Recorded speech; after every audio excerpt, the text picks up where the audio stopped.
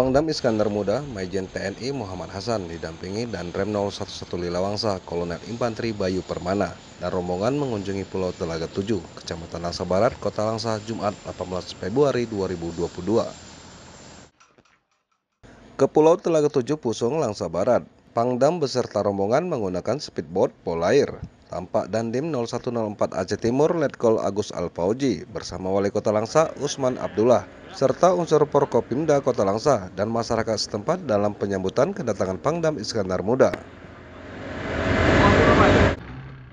Setiba di Pulau Telaga 7, perbatasan pulau terluar Kota Langsa, wilayah Kodim 0104 Aceh Timur, Pangdam Iskandar Muda, Majen TNI Muhammad Hasan menemui masyarakat setempat, sekaligus memberikan sembako dan melakukan penanaman pohon, kelestarian alam dalam mencegah terjadinya abrasi di pesisir pantai tersebut.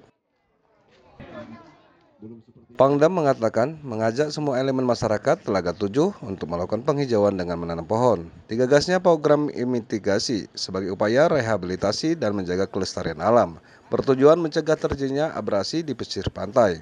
Terlebih bencana alam di Aceh, terutama gelombang besar yang berpotensi tsunami.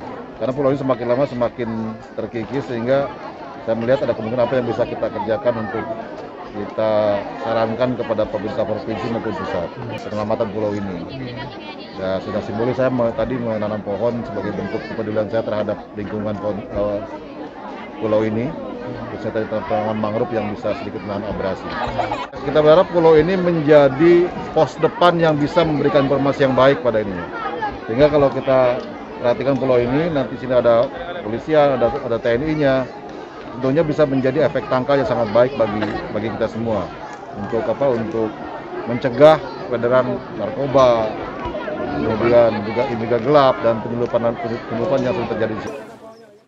Pangdam juga berpesan kepada seluruh prajurit TNI agar bisa memberikan manfaat bagi masyarakat, serta dapat memberikan terobosan yang baik dalam membantu mesejahterakan masyarakat di daerah tersebut.